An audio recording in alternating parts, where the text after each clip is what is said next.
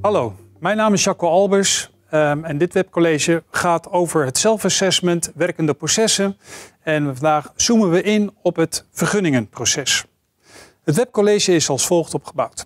Uh, we staan eerst stil bij de achtergrond en het doel en de aanpak van het self-assessment. Daarna praten we even kort door het gehele proces heen. En dan gaan we processtap voor processtap stilstaan bij de aandachtspunten die we zijn tegengekomen. Uh, bij de gemeentes die we bezocht hebben uh, en die gebruik hebben gemaakt van het self-assessment.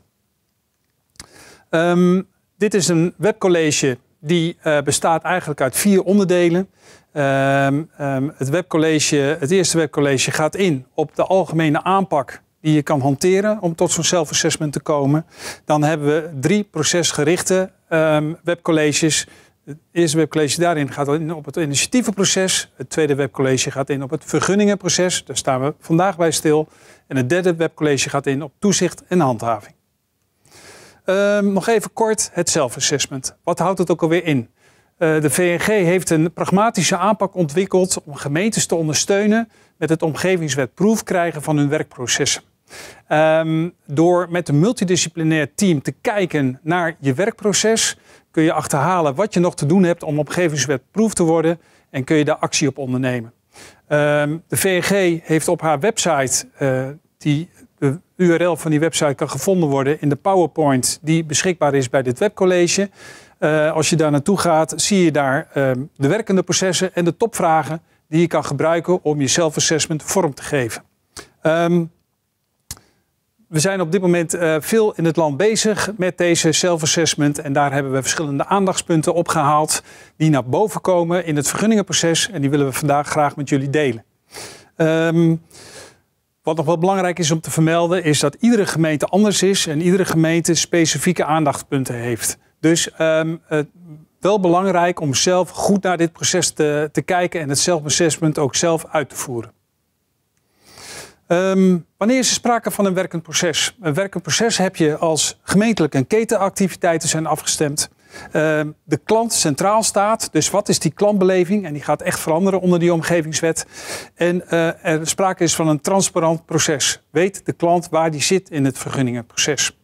Um, uiteraard, een proces is pas werkend als het voldoet aan die omgevingswet en het gedachtegoed van die omgevingswet. Um, competenties en vaardigheden zijn uitermate belangrijk. Uh, die gaan veranderen onder die omgevingswet. En uh, mensen hebben behoefte, medewerkers hebben behoefte aan gerichte opleidingen. Zowel op de inhoudelijke competenties, en daar bedoel ik mee wetteksten uh, en alle inhoud die daarmee gepaard gaat.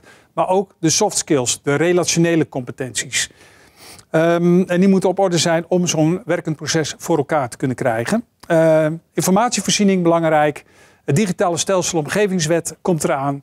Uh, en dat betekent dat je informatievoorzieningsketen gaat veranderen. Dus letterlijk je VTH-systeem, waar die vergunningen binnenkomen, moet aangesloten zijn op het DSO.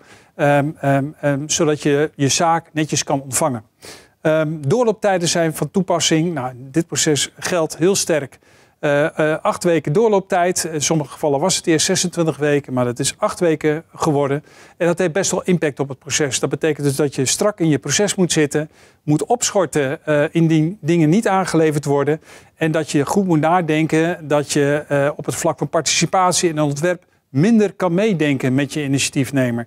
Als je dat wil doen, dan um, is het wenselijk dat je gebruik maakt van het initiatievenproces. Um, uiteraard, het belangrijkste onderdeel van je werkende processen van het self-assessment is um, uh, dat je het ook gaat, echt gaat doen. Dus dat je het proces gaat implementeren.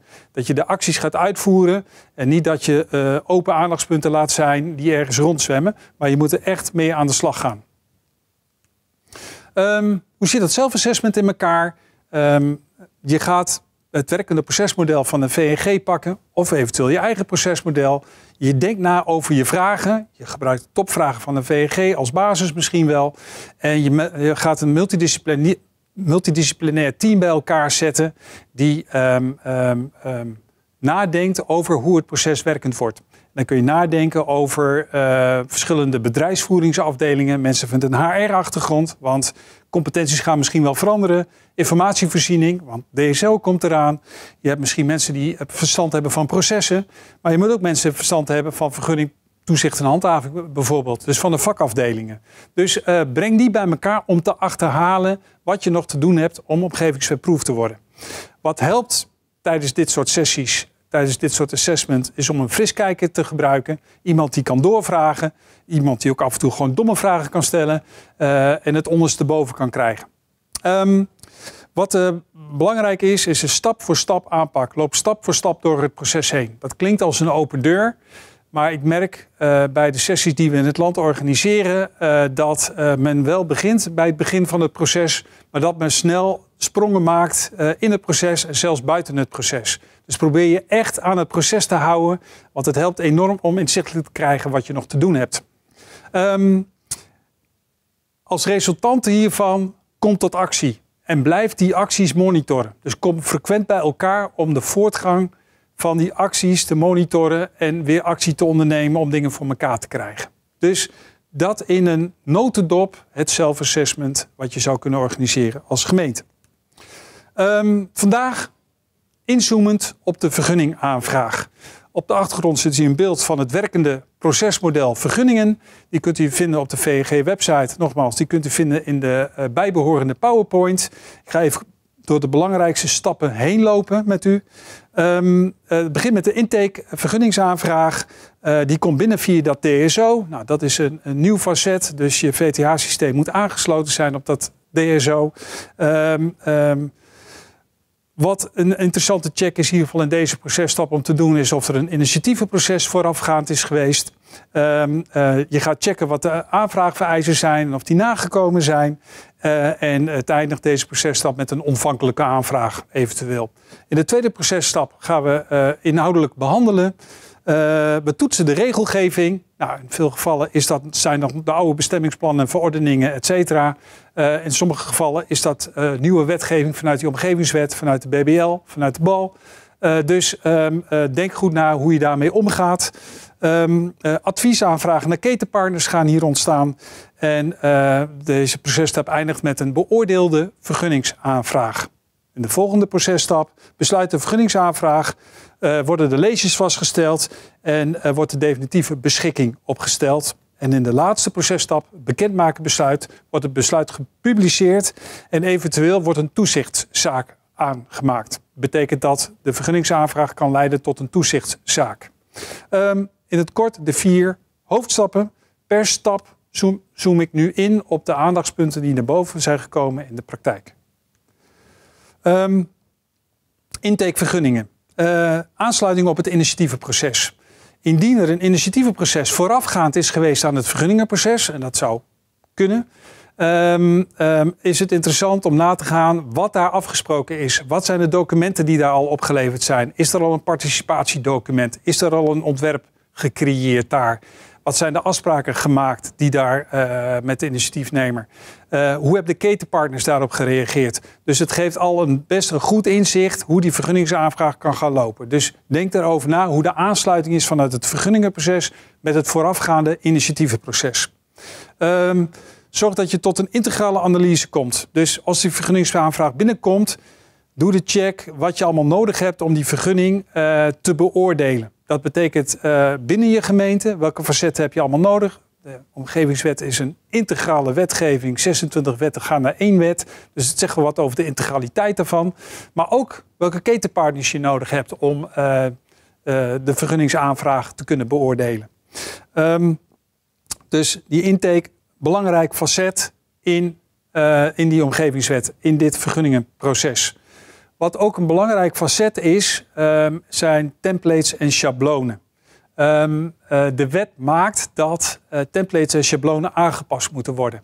En wel op wetteksten, uh, eventueel oude woorden die erin staan als bestemmingsplan, wat er niet meer is, dat moet omgevingsplan worden. dus die schablonen die moeten aangepast worden. Um, wat ook nog speelt is dat bij veel gemeentes er wat achterstallig onderhoud is op templates en schablonen. Die ook gelijk meegenomen uh, moeten worden. En uh, de ervaring leert dat dit uh, nog niet bekend is bij iedereen. en dat er te weinig capaciteit beschikbaar is om dat te kunnen doen. Ehm, dus bij een gemiddelde gemeente heb je toch snel over 300 tot 400 schablonen die aangepast moeten worden. Um, Informatievoorziening uiteraard ook heel belangrijk. Ehm, eh, je VTH-systeem moet aangesloten zijn op het DSO.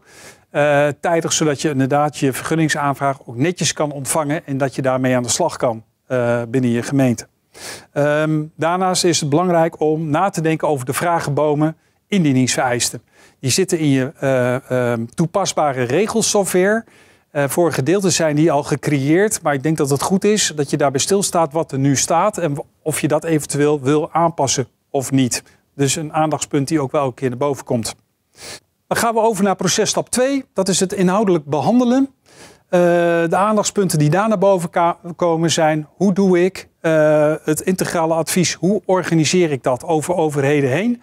Nou, je zou kunnen gebruik maken van een vergunningentafel, is niet noodzakelijk, maar je moet wel iets cre creëren. Nou, een vergunningentafel is weer, net weer wat anders dan een omgevingstafel. Dit gaat echt over vergunningen uh, en je moet nadenken hoe je daarmee omgaat. Dus is uh, uh, het beoordelen van die vergunning een logische optelsom van alle individuele adviesaanvragen? Of, en dan kom je ook op de ja-mits uit, of ga je elkaar in de ogen aankijken en zeg van oké, dit is in principe niet mogelijk, maar als we het zo doen als overheden, dan gaat er een ja-mits ontstaan en dan zou het eventueel wel kunnen. Dus denk daarover na in deze processtap.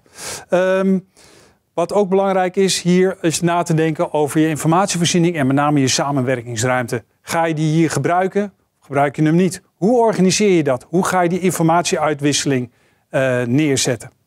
Um, daarnaast, dat heeft ook met de wet kwaliteitsborging te maken, moet je in dit uh, traject, als het over een bouwvergunning gaat, dan nadenken over de uh, locatiespecifieke omstandigheden. En wat wil dat zeggen? De WKB maakt dat uh, de ruimtelijke vergunning vergeven wordt door de gemeente.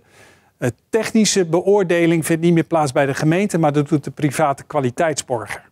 Nou, de gemeente is in staat om in die vergunning, in die ruimtelijke vergunning, aan die initiatiefnemer mee te geven wat de locatiespecifieke uh, omstandigheden zijn, risico's zijn, zodat de private kwaliteitsborger daar gebruik van kan gaan maken. Dat is echt iets nieuws. Denk daarover na als gemeente. In de derde uh, processtap, het besluiten vergunningsaanvraag, uh, is één belangrijk aandachtspunt en dat zijn de veranderende leesjes, de leesjesverordening. Um, um, voor 1 januari 2022 moet je daarover nadenken. Nou, als je daarover terug gaat rekenen, moet je in september duidelijk hebben hoe je daarmee omgaat. En er gaan wat aspecten veranderen. Uh, denk maar aan milieuleesjes die je zou kunnen heffen. Uh, de zeer eenvoudige bouwwerken die vervalt volgens de omgevingswet.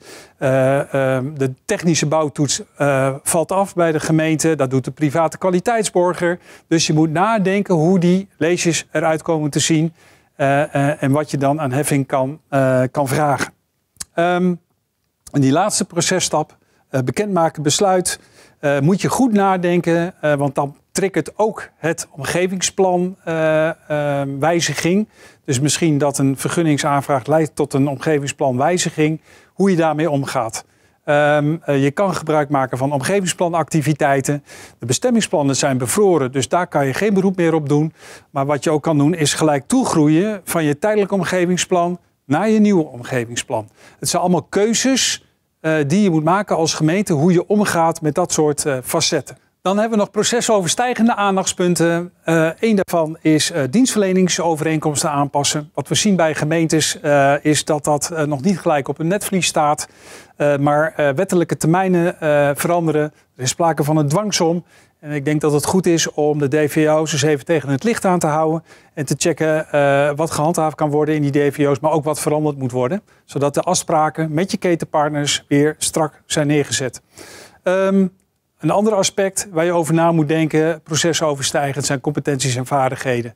Uh, denk na over wat uh, je medewerkers nodig hebben om te kunnen groeien. Ook met die omgevingswet op de achtergrond. Dus en dan heb je het over de inhoud, de wetteksten, maar je hebt het ook over soft skills, relationele competenties. Um, uh, iets wat tot nu toe onderbelicht blijft en meestal nou, wat ik zie bij gemeentes worden wel cursussen aangeboden, maar dat zit met name op de inhoud. Soft skills is weer een ander facet. Denk erover na hoe je daarmee om wil gaan. Uh, proceseigenaarschap is ook een belangrijke. Uh, bij veel gemeentes zie je dat het programma Omgevingswet van de Omgevingswet is. En dat de vakafdelingen nog niet altijd betrokken zijn. Nou, door het door het doen van dit self-assessment en het proceseigenaarschap echt in de lijn te parkeren, maak je het ook echt van de lijn. Die maak je verantwoordelijk om uh, een omgevingswebproefproces te krijgen. Dus uh, die verbinding is een, of in ieder geval het self-assessment is denk ik een, een mooi vehikel om over te gaan van het programma of het project Omgevingswet naar de lijn. Um, dit kom ik tot het einde van dit webcollege. Uh, als je meer informatie wil hebben of nog vragen hebt, kunt u kijken op aan de slag met de omgevingswet.nl of de vng.nl. Net ook al even vermeld. Uh, dit webcollege wordt begeleid door een PowerPoint-presentatie. En daar zit ook nog een link in naar de werkende processen site uh, bij de VNG. En daar kunt u alle content vinden met betrekking tot de werkende processen en de topvragen die je kan stellen als onderdeel van het self-assessment. Dank jullie wel voor de aandacht.